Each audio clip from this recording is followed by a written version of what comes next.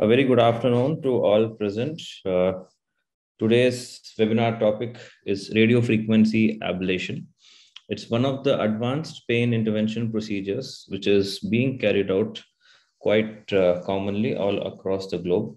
And uh, expertise in radio frequency ablation is of paramount importance for any, any pain uh, interventional specialist. I am Dr. Khaja Javed Khan and uh, consultant uh, pain specialist, and I would be doing this following topic under the following headings. I'll be talking about introduction, followed by what is radio frequency ablation, talking a little bit about the physics of thermocoagulation, differentiating between conventional and pulsed radio frequency ablation techniques, talking about the cool radio frequency ablation, the newer alternative at our disposal, the various applications, followed by finally the conclusion. Starting off with the introduction, the use of radio frequency in pain management dates way back to 1965, where it was used for the treatment of unilateral pain in cancer patients for the management of unilateral pain by doing percutaneous lateral cordotomy.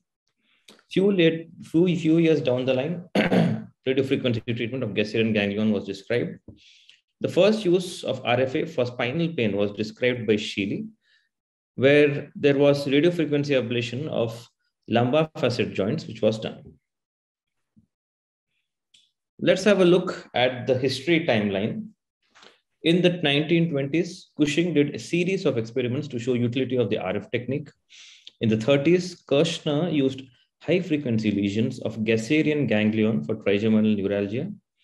In the 50s, Hunsperger and Wyss proposed high frequency alternating current for the first time. In 1950s, Cosman and Aranow produced first commercially available radio frequency generator. In 1975, first application for spinal pain by Shealy was done. In the 1980s, Sluijter delivered percutaneous RFA techniques for cervical, lumbar, thoracic, and sacral discogenic pain syndromes. In 1994, Sluijter developed pulsed radiofrequency mode.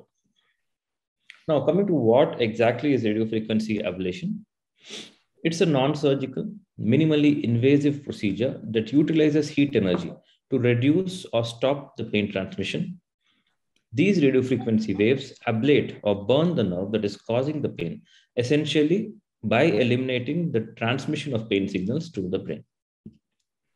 What is the principle of radiofrequency current? A high frequency current of 500 kilohertz produced by the generator on the neural tissue through a closed circuit will lead to neurolysis of the nerves. When a high frequency AC current is passed, to and fro movements of the charged ions occur. This leads to generation of heat due to the electromagnetic friction. Let's have a look at a bit of physics of thermocoagulation. Well, what are the components of a basic radio frequency circuit? The following, which is radio frequency generator machine, the active electrode, the cables, and the ground pad. This over here, we are seeing, this is the radio frequency RF generator, the cables, RFA cables, and the ground pads. This is how a closed circuit looks like. We have the RF generator, the dispersive pad, the RFA probe, resulting in the lesion, and all of this form a circuit. So high frequency, low energy current builds electromagnetic field between electrodes. Here, free charged ions move back and forth to cause oscillation and collision, resulting in friction. This friction raises temperature in the tissues, which is sensed by active tip of the electrode.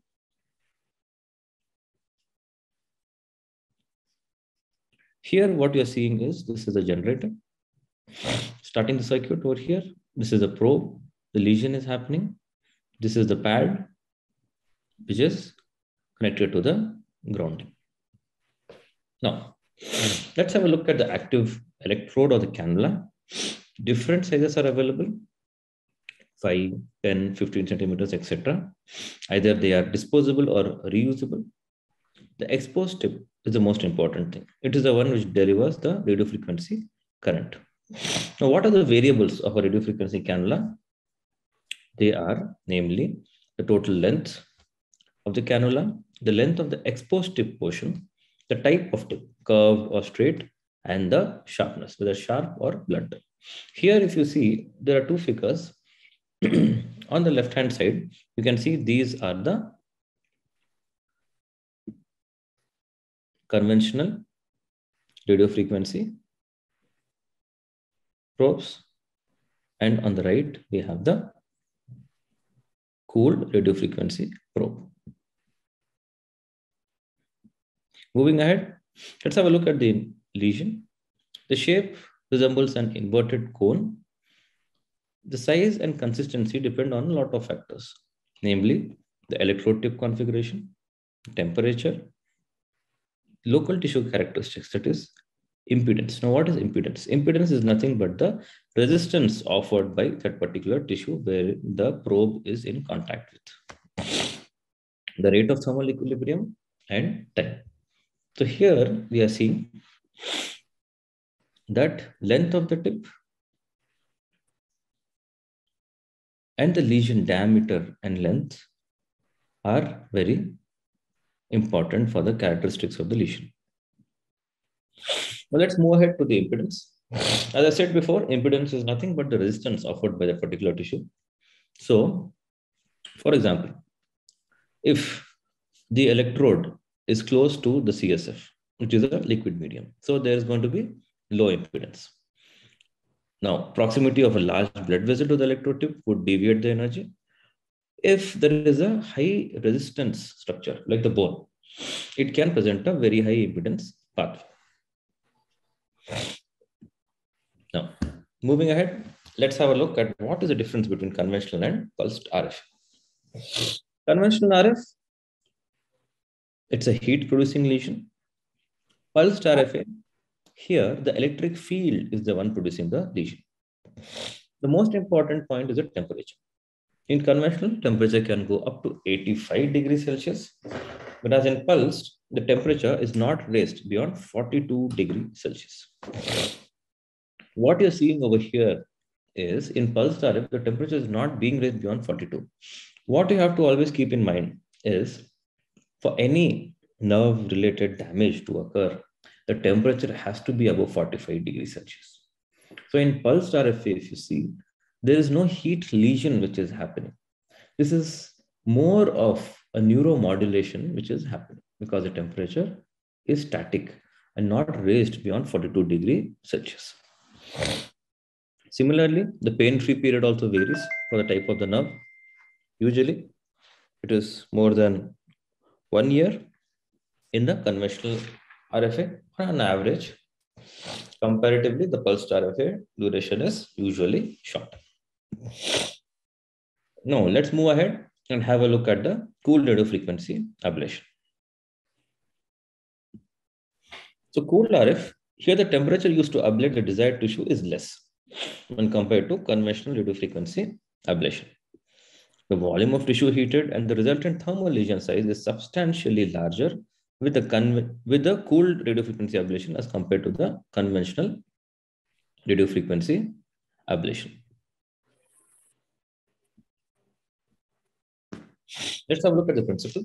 In contrast to conventional RF, where the target is heated to 80 degrees for 90 seconds on an average, the cooled RFA uses constant flow of ambient water circulated through the electrode via peristaltic pump to maintain a lower tissue temperature by creating a heat sink, but still allowing neurolysis to occur.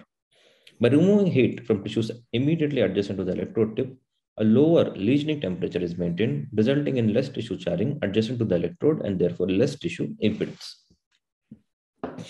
Here you are seeing a comparison, a geometric comparison of the lesions between the conventional and cool RFA. If you're seeing conventional is more of an oval lesion, whereas with cool it's a spherical lesion. Now, both, both conventional and cool work through ionic heating.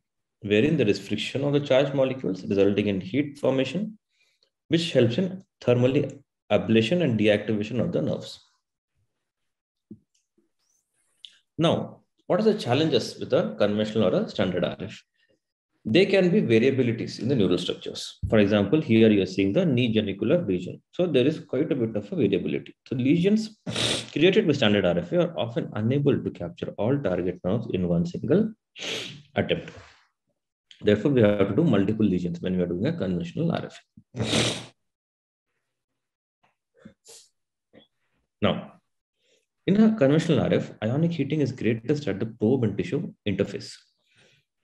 Since lesion occurs only within the area immediately adjacent to the probe active tip, the lesion distally projects at only a minimal distance beyond the tip, resulting in an elliptical lesion. So here you are seeing different temperatures. Greatest is close to the tip, 80 degrees. As you go farther away, it is lesser, 65 and 40. Diameter in conventional RF is 4 millimeters, the lesion diameter.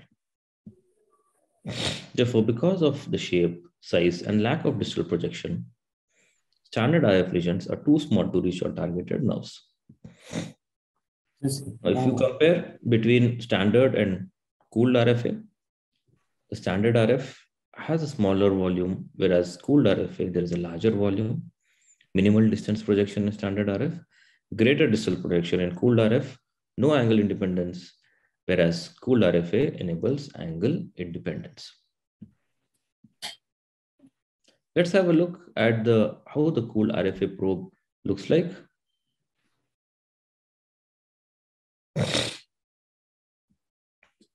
This is how it looks. So this is basically a water-cooled probe.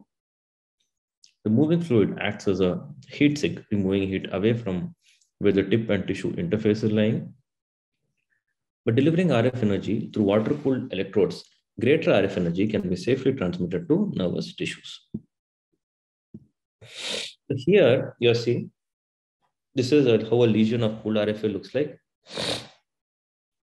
Now, first point is the lesion volume is five times larger than conventional RFA. There is 45% distal projection or greater, and there is angle independence. Now, compare the lesions, it is almost three times, three to four times of a standard RFA.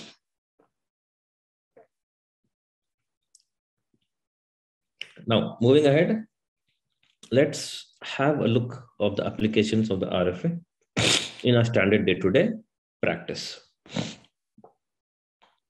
Coming to the knee joint, the knee is innervated by articular branches called the genicular nerves of various major nerves like femoral, tibial, common peroneal, fibular, saphenous, and obturator nerves. The articular branches follow the genicular vessels. what are the targets? We have the genicular nerves, superior medial, superior lateral, inferior medial. Optional suprapatellar genicular nerve can also be done as a fourth lesion. Now, this is how a fluoroscopy guided technique looks like in a patient with osteoarthritis. Initially, we all used to do the fluoroscopy guided technique for the radiofrequency ablations. These are the AP view targets, what you're seeing. Here, yes, so here, what you're seeing is you're seeing the AP view targets in fluoroscopy guided technique. The important thing over here, what we have to see is that this is for the superior medial, superior lateral, and the inferior medial.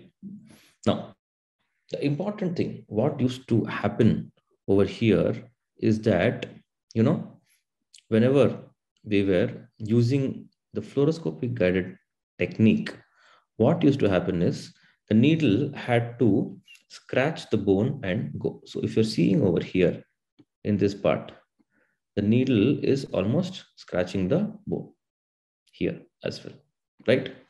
So this used to result in a lot of pain for the patient, which made the thing very uncomfortable especially with the fluoroscopic guided technique. If you look at the targets, what were the various targets? The targets were junction between the shaft and the condyle, be it the femur or the tibia. Clear? Let's move ahead. Okay. Now, the important thing over here is that in the lateral view, lateral view, what was important is that the needles have to be in the middle of the shaft, right? So what we had to do is we had to maintain the needles in contact with the bone. So what is was happening is it was resulting in a lot of pain for the patients. So here is a video of how the fluoroscopy guided technique works. Hmm? So here you're seeing the genicular RF of the knee. This is a cool frequency technique. If you're seeing, this is the knee joint. We see the various nerves, superior medial, superior medial, superior lateral, and then the inferomedial genicular nerves, right? So these are the various targets, right? Now, on the lateral view, this is how it is there. And you have to ensure that the needle is in the middle, as you're seeing in the both the diagrams. Now, what I had started off first by doing the fluoroscopic guided technique only. But again, there was always the feeling that there's a lot of discomfort for the patient. So I shifted off to the ultrasound guided technique.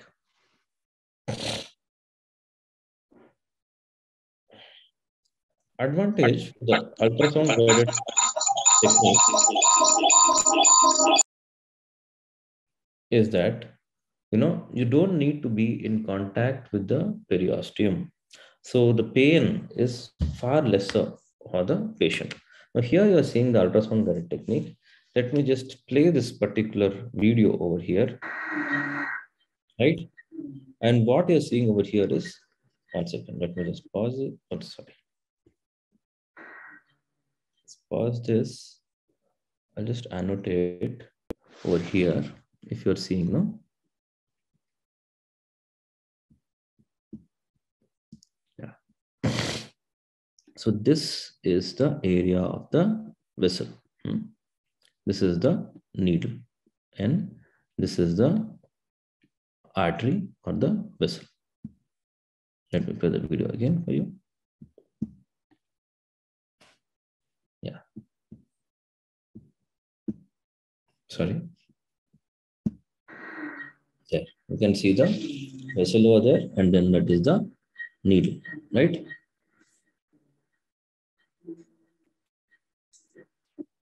Okay, let's just get rid of this.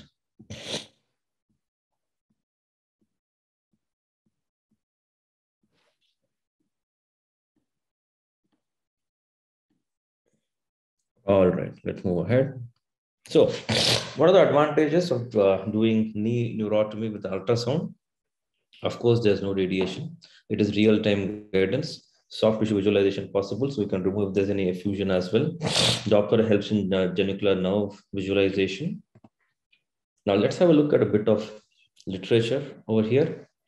So this is a, was a systematic review and meta-analysis of 12 RCTs evaluating the efficacy of RFA treatment for knee pain.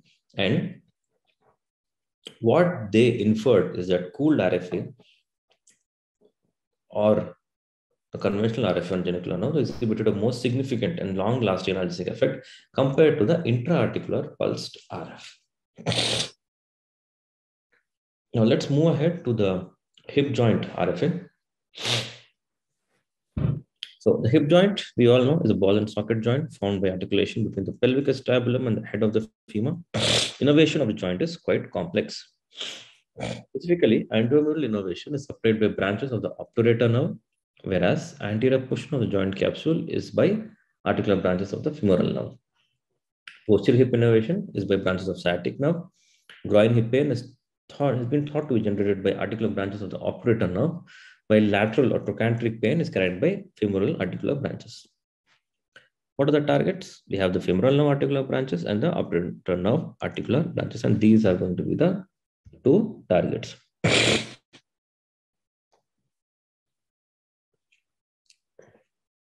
Now, this you are seeing over here is a fluoroscopic guided technique. And if you see, this is the target of the femoral articular branches. And this is the target for the obturator articular branches. So I prefer using a hybrid technique wherein I use ultrasound as well, mainly to be careful to not injure any of the major vessels especially when you're doing the obturator nerve lesion, then there is a high chance that the vessels can come in the way. So be very careful because these are major vessels. And especially if you're doing cool RFA, the needles are quite fat and bigger. It can result in artery or venous blowouts. So here you're seeing my patient. I'm doing the hip cool RFA. This is the target for the femoral branches. This is for the obturator branches. Now, if you have a look at the literature, combining fluoroscopy with ultrasound and multiple stacked lesions, bipolar ablation or cool RF may increase the likelihood of successful ablation of the nociceptive nerve of the hip joint. This was by a review article, an evidence-based narrative review, by where radiofrequency procedures to relieve chronic hip pain were uh, studied. They concluded that RF treatment for sensory innervation of hip joint had the potential to reduce pain secondary to degenerative conditions. Let's move ahead. Sacroiliac joint now. This sacroiliac joint is the largest axial joint in the body, formed between sacrum and iliac bones on either sides.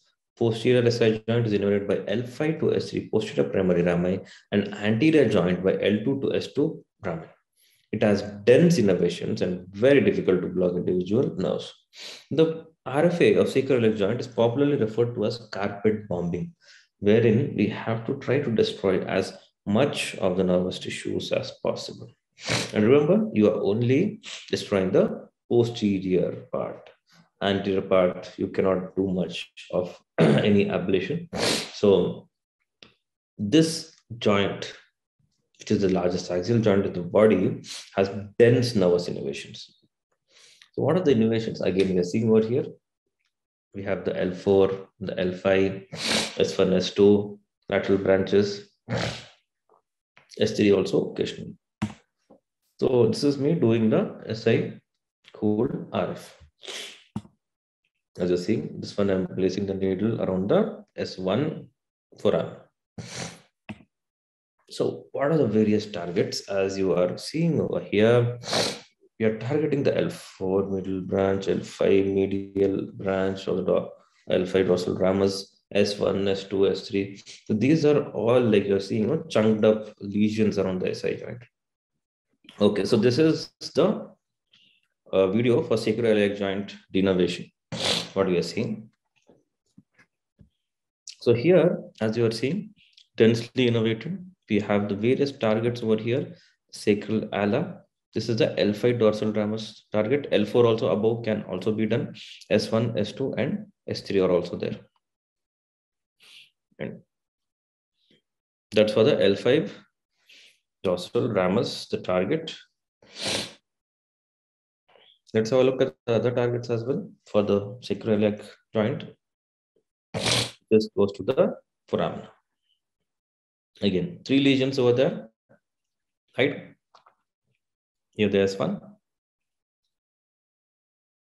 And then, as you see, one, two, and three, uh, with the cool RFA needle, usually spaced uh, a few millimeters close to each other. And this is the right side. So if I, if you're seeing over here, this are two o'clock, four o'clock, and six o'clock positions. This is around the S2 foramen, right? You're seeing the lesions, S2, three lesions around the S2 foramen. Yes, the third lesion around the S2 foramen. Then moving ahead to the S3. S3, around two lesions are commonly done. One and the second. So what you're seeing over here is lot of lesions, right? Around the sacroiliac joint. Right, so let's have a look at a bit of literature regarding the role of RF ablation for SI joint pain. Meta-analysis demonstrated that RFA is an effective treatment for SI joint pain at three months and six months.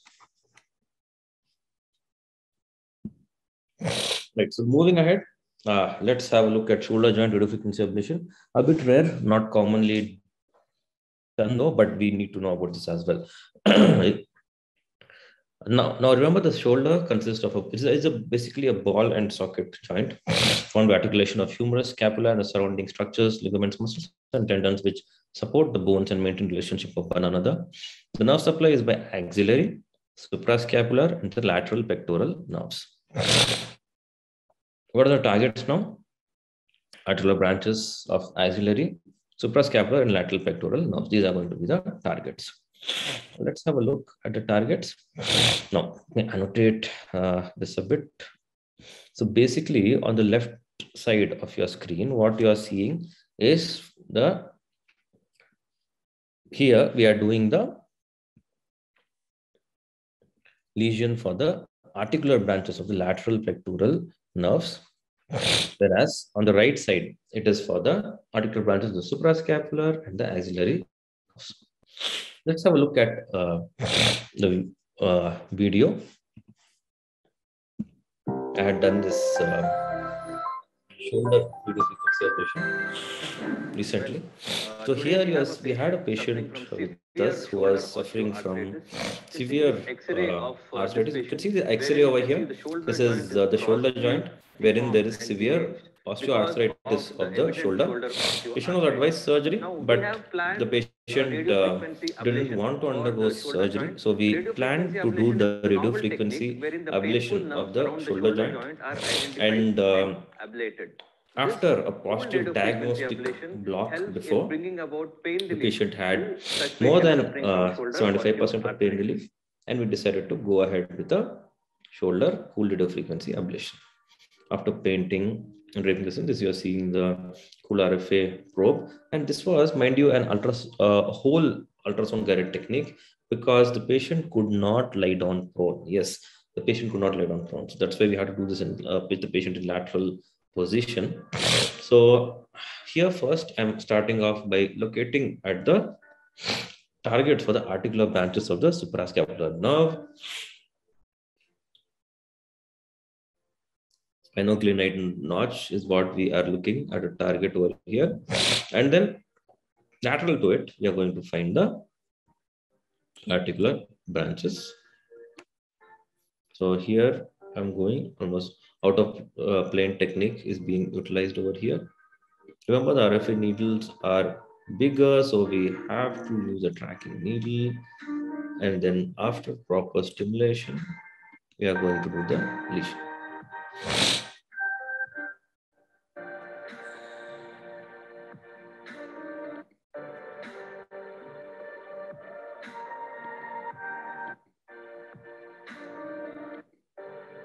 This is you're seeing the lesion happening.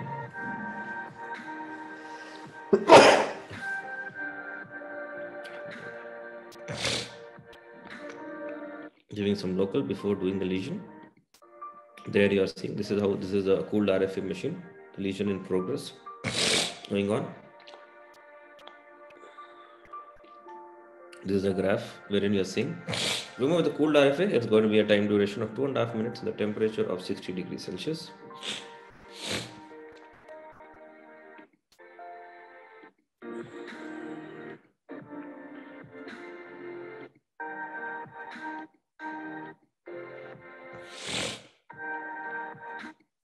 Moving ahead, now we'll have we are targeting the axillary branches articular branches of the axillary nerve. There you see, we're doing the lesion for that. So this shoulder RFA, usually the technique is done wherein you have to keep the patient in two positions. One is supine and one is prone. Prone, you are going to lesion the articular branches of suprascapular and the axillary nerve and supine the lateral pectoral nerves.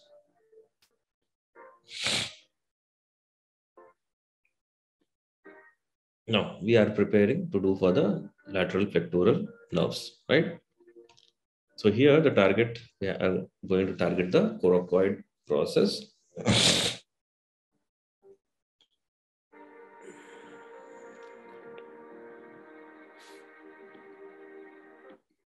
There, we're going in plane and then we're going to target the upper part of the coracoid process.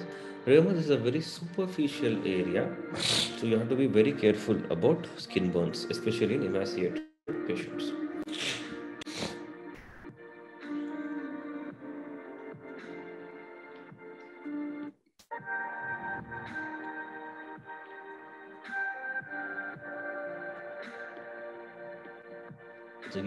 Local, we will be starting with the lesion. that was about the shoulder uh, cooled frequency ablation. Let's have a look at a bit of literature, systematic review and meta-analysis of uh, RFA procedures on shoulder joint innervation concluded by telling that RFA treatments targeting the sensory innervation of the shoulder joint affected by degenerative conditions have the potential to reduce pain, but still a lot more studies are warranted. As I said, the shoulder RFA procedures are not very common. Lastly, let's have a look at the facet joint. Now, the facet joints are formed by articulation between inferior articular process of the above vertebra with the superior articular process of the below vertebra. Each facet joint receives, receives innervation from medial branch of dorsal rami of the nerve at the same level and one level above. The medial branch of the dorsal rami gives motor supply to the multifidus muscle. Now, let's have a look at the targets. In this picture, I think you would be able to appreciate a Scotty dog, just delineated in red Remember, the target point is junction of the superior articular process and transverse process at the eye of the Scotty dog. For L5 S1 facet, target the posterior primary rami of L5, which is in the groove at junction of superior articular process of the sacral ala. Here you're seeing cool RFA is being done on the facet. This is the Scotty dog view, wherein you're going close to reach the junction of SAP and transverse process near the eye of the Scotty dog. And in the lateral view, you have to stay on the bone and not go anywhere close to the foramen. Let's have a look at a video.